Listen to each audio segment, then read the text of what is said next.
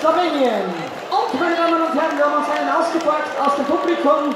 Stefan, aber nicht ohne Hintergedanken, nämlich der Stefan hat am Donnerstag seinen 30. Geburtstag